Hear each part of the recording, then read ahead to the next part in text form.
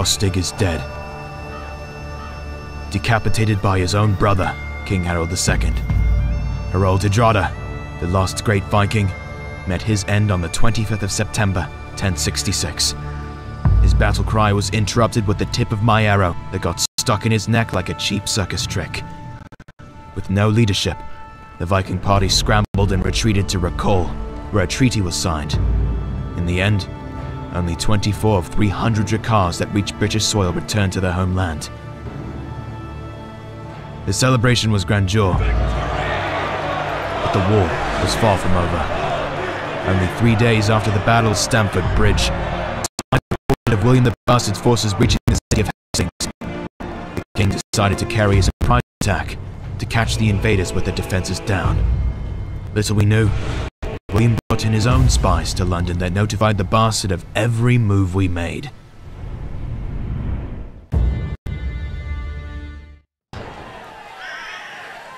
At last, this is the second fight you are late for. There is no time for honors. I hereby declare you the Major Archer Commander. I, uh, yes, Your Highness. Where are my men? I should be asking you this question. And why are they not protecting our western flank? William's people took over our archery building. Do what it takes to get it back and secure the western flank. Uh, alone? Do not act surprised. You've coped worse situations. Now, move. It's right.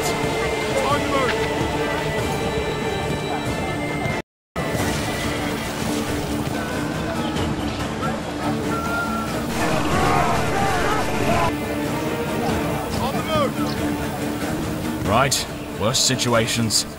Nothing new here. Even as a commander, I must feel my back against the wall. Time to move.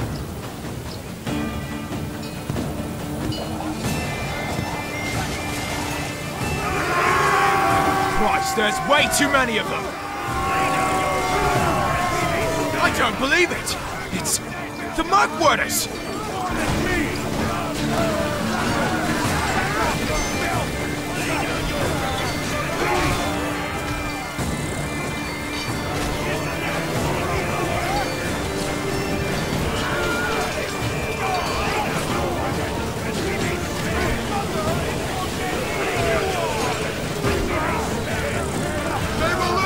Were waiting for this opportunity. You have no idea how happy I am to see you. Thank you for your help. Hold your horses.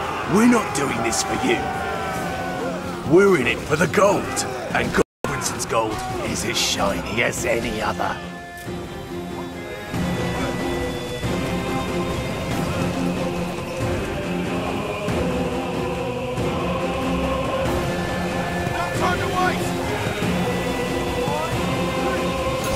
Can't rest now. I'm sure they will fight back soon.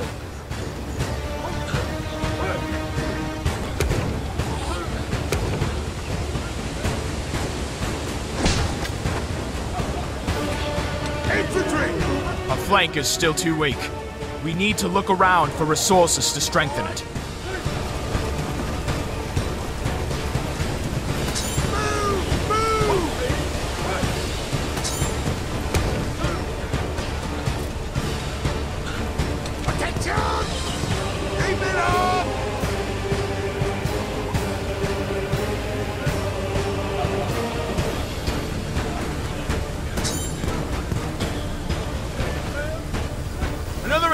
Coming! Let it down!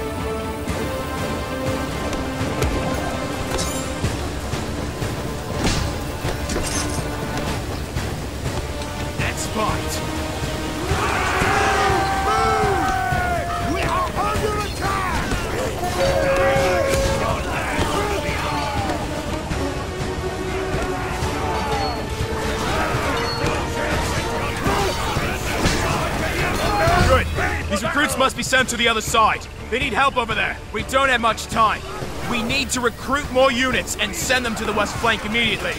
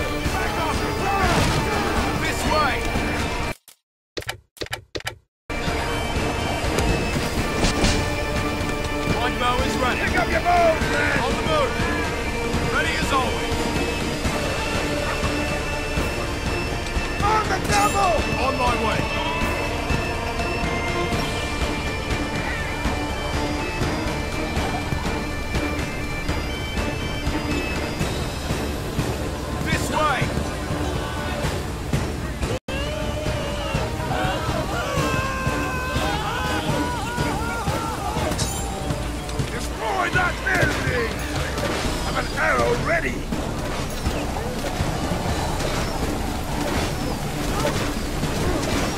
Infantry!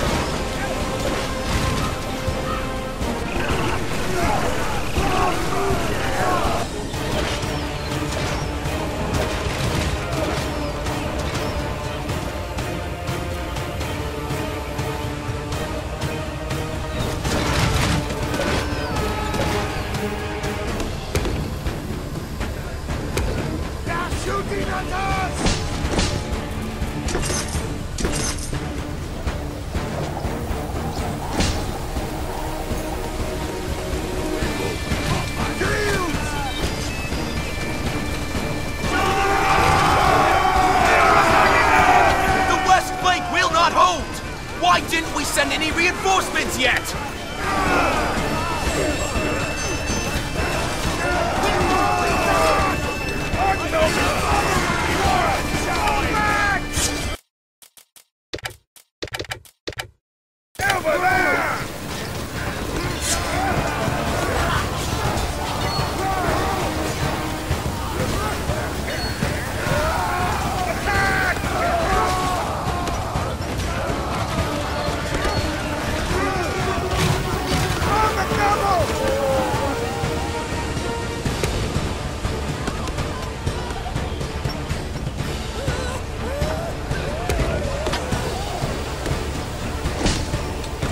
No time to waste!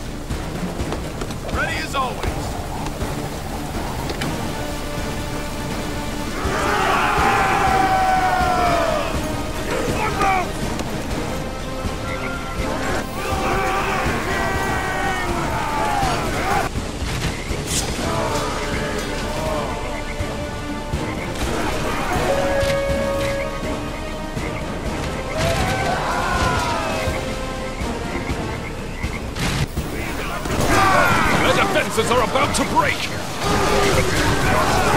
We must strike now, with all we have left! I take command of the full army now! Dunstan, help me show these pagans the true islander hospitality! Harold ready!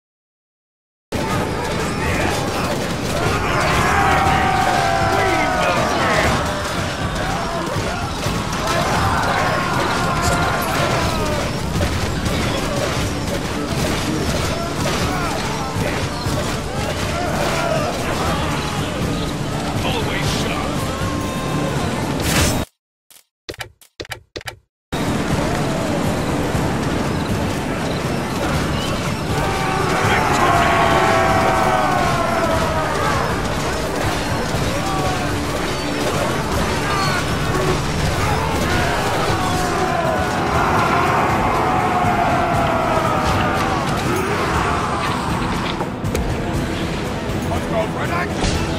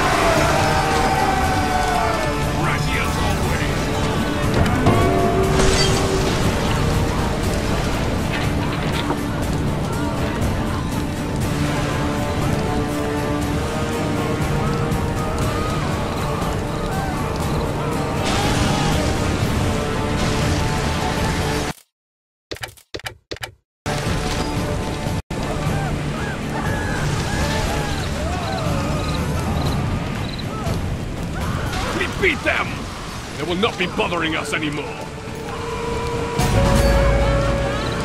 Sir, William the Bastard and his entire army are heading this way. So, he is putting everything at stake. So be it. Men! Regroup and prepare to fight! Where are my bloody fyrds? They should already be here. We have bad news. Odo of Bayeux and his men have crushed the fyrds. No matter. We still have enough men and courage to defeat them.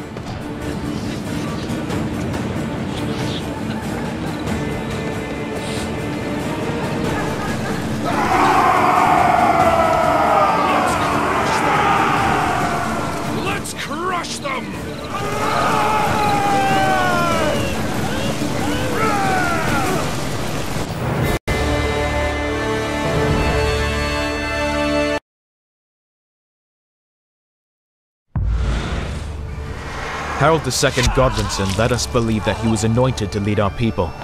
Maybe it was far-fetched lie or blind belief he himself envisioned. Truth is, we followed him to the bitter end. A king was sent to the gates of heaven by an arrow to his eye, and his body trampled by the hoofs of cavalry to the metallic jarring of his armor. To much surprise, William and his army did not attack London straightforward. He decided to cut the capital from its supplies, patiently awaiting capitulation. After taking over the capital, the Witenagemot submitted the crown to the bastard shortly after William seized Winchester, where the royal treasure was. On the 25th of December 1066, William was no longer a bastard, for this day was marked as the day William the Conqueror was born. A new title fit for a new king. But if you ask me, now he sounds plain posh. And me? Well, I must be the luckiest bitch's son that ever walked the islands. One of Bastard's muscles sliced my eye with an axe, rendering me haggard for the rest of the battle. Never saw the fall of King Harold II. And after all, I think that's for the best, as I never met a child fond of inglorious songs of fall and disappointment. Never became an old grouch either. In the long run, a lazy eye is a small price to pay for a title of Earl of Locksley.